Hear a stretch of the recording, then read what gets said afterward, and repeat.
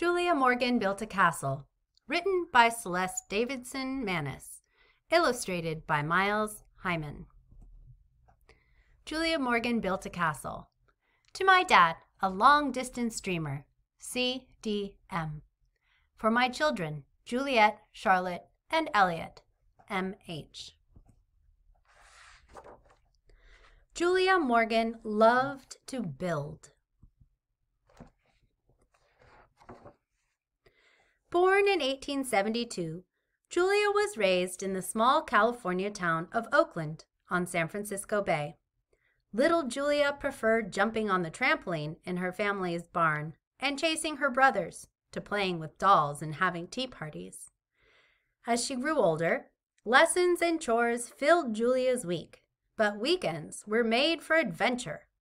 The Morgans ferried across the bay to San Francisco, where shiny new cable cars climbed the hills and buildings sprang up like weeds.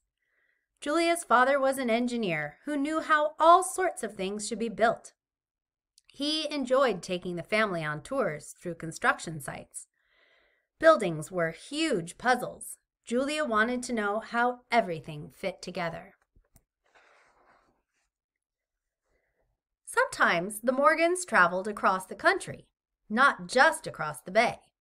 When they did, Julia visited her cousin Pierre Lebrun, a busy New York architect who designed and directed the building of graceful stone churches, sturdy brick firehouses, and one of the very first skyscrapers in Manhattan, the Metropolitan Life Insurance Tower. Cousin Pierre had the most exciting job in the world. Julia dreamed of becoming an architect. Architecture combined the study of engineering with special training in the art of building design. But only a few faraway schools taught architecture in those days. So Julia entered the nearby California University of California at Berkeley in 1890. There, she studied engineering, the only woman in her class, and learned all about the buildings. Excuse me, and learned all about how buildings were constructed and why.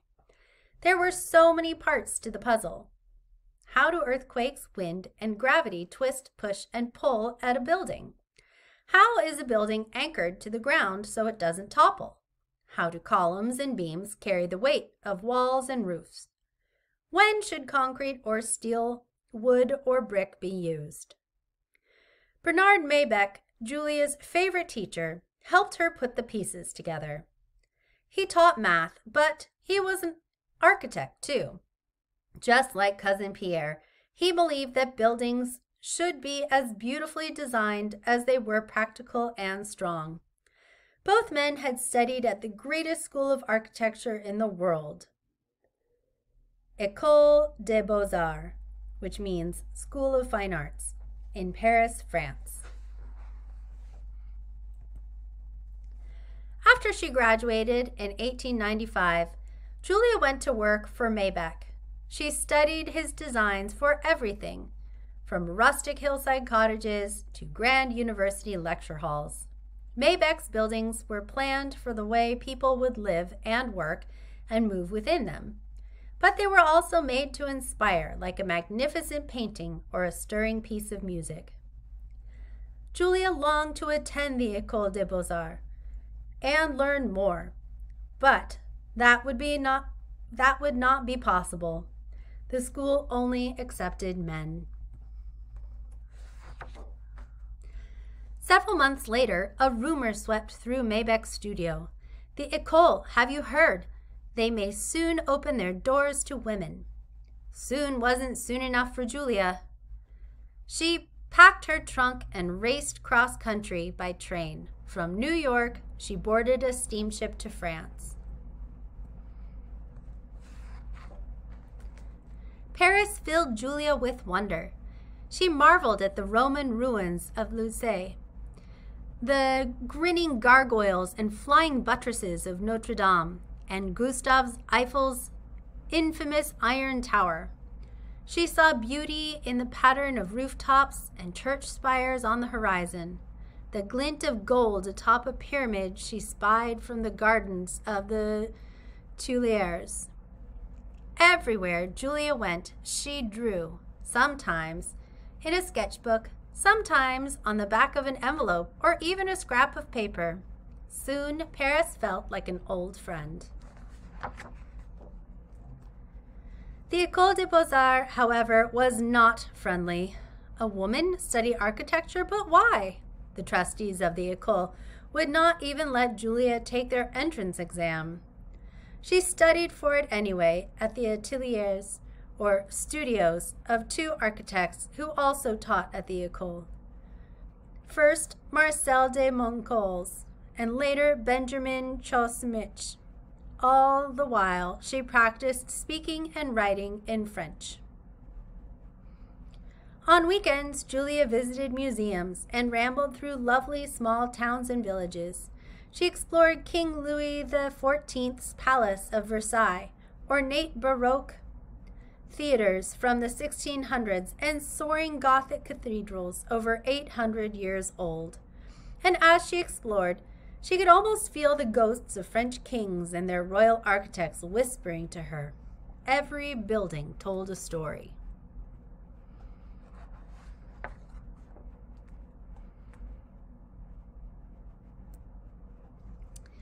Weeks turned into months and months into a year. Julia moved from a hotel for women to a less expensive apartment on Rue Genougarde. Many times she skipped meals to pay for books on architecture. Suddenly, in the autumn of 1897, the large iron gates of the École creaked open just a bit for Mademoiselle Julia Morgan of California. After a year and a half in Paris, she was allowed to take the school's long and difficult entrance exam.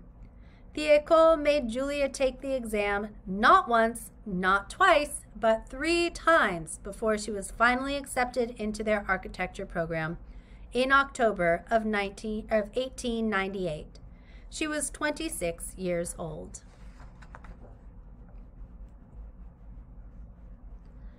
At the École, Monsieur Mazaud showed three-dimensional pictures with his stereo, sorry, stereopticon as he spoke about the history of architecture. Monsieur Mondut described how buildings were constructed from the inside out, down to every last detail. There were countless math courses, countless drawing courses. Julia could hardly wait to start designing buildings. When she did, she remembered all the beautiful buildings she had explored and studied. Julia won a first prize medal for her final project, an opulent palace theater decorated with statues of characters from Greek mythology. The prize was announced just after her 30th birthday in the spring of 1902. That year, Julia became the first woman in the history of the École des Beaux-Arts to receive a certificate in architecture. After six years in France, Julia came home in 1904. She opened an atelier in San Francisco as California's first licensed woman architect. A flurry of requests to design homes, many for school friends, was followed by a commission from Mills College in Julia's hometown of Oakland. Julia designed a lofty bell tower for the campus using steel reinforced concrete to make it strong and more resistant to fire. But some doubted Julia's methods. It's too expensive. The walls are too thick. What does a woman know about building anyway? In April of 1906, an enormous earthquake and fire ripped through the San Francisco Bay Area. Thousands died. San Francisco was all but reduced to rubble and ash. Julia's office was destroyed, but her bell tower stood, as did every other building she had designed. Julia didn't give it much thought. There was a city to rebuild. Now, everybody knew about Julia Morgan. She had completed, completed over 450 projects by the time William Randolph Hearst walked into her office one afternoon in 1919 a very rich, very powerful newspaper publisher, Hearst had grown up in San Francisco, just across the bay from Julia.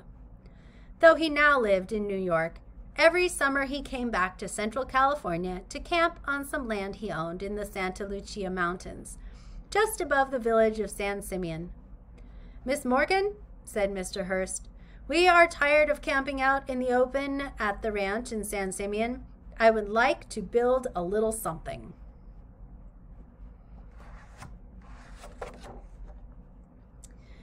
What kind of home would suit Mr. Hearst perfectly? Julia imagined a dramatic showplace where he could entertain both movie stars and presidents and display his huge collection of antique treasures. Ideas blossomed into rough sketches, then careful drawings and watercolor renderings. Mr. Hearst was delighted. Julia prepared plans, details, and models for a large main house to crown the highest hill and three smaller guest houses to hug its side.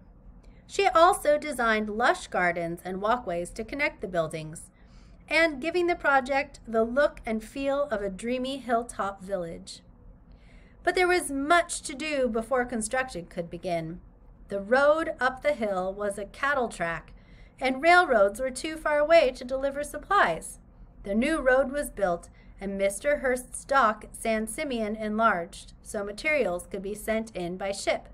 Soon, trucks and horse drawn wagons hauled lumber, iron bars, and tons of cement up the untamed hills. Bulldozers, cranes, and rock crushers quickly followed.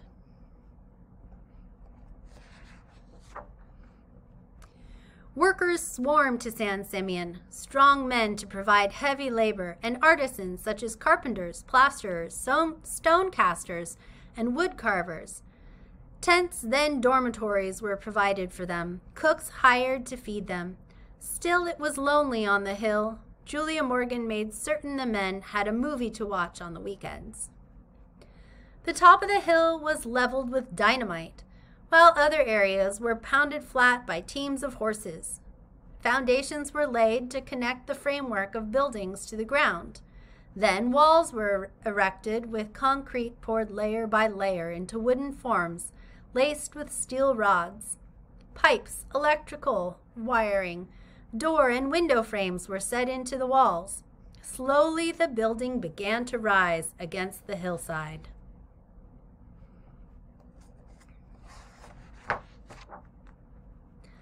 Walls were finished with limestone and cast stone. A teak wood cornice carved with gargoyles decorated the exterior of the main building, La Casa Grande.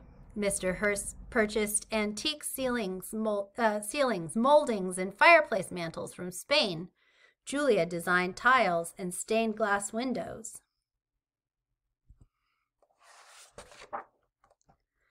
While she worked on Mr. Hearst's castle, Julia Morgan finished hundreds of other projects for other clients. But come Friday night, she caught the coast train south from San Francisco to San Luis Obispo and then took a taxi the last 50 miles to San Simeon. Julia usually arrived just in time for a quick nap before breakfast. She made this exhausting trip over 500 times. Weekends were spent walking the site, meeting with contractors and craftsmen, revising plans, and discussing the project with Mr. Hearst. For many years, Julia worked out of a shack propped against the side of La Casa, La Casa Grande. Not everything went according to plan. Once Mr. Hearst had a chimney torn down and moved, then torn down again and put back exactly where it was to begin with. Another time, after Julia remarked on the lovely view from the roof of La Casa Grande, Mr. Hearst asked her to add a third story to the house. Right away, other additions included, uh, sorry, Mr. Hearst asked her to add a third story to the house right away.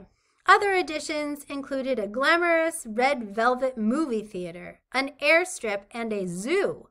And then there was the Neptune pool, a lovely Roman style pool overlooking the sea, which Julia was asked to redesign five times in 12 years.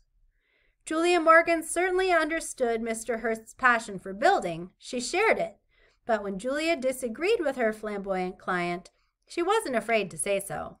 Perhaps that's why William Randolph Hearst, one of the most outspoken and influential men in America, trusted Julia Morgan more than just about anyone. Julia spent more than half of her almost 50 year career working on Mr. Hearst's dream home in the hills above San Simeon. Construction finally stopped in 1947, 28 years after it began, but the castle Julia Morgan built tells her story to this day. And these are some pictures of Hearst's Castle, the home that Julia Morgan built for William Randolph Hearst. There's the Neptune pool. It turned out pretty nice. And here you can see the front of the castle. There is the dining room. And there you can see the castle from afar. Pretty incredible. Julia Morgan really knew her stuff.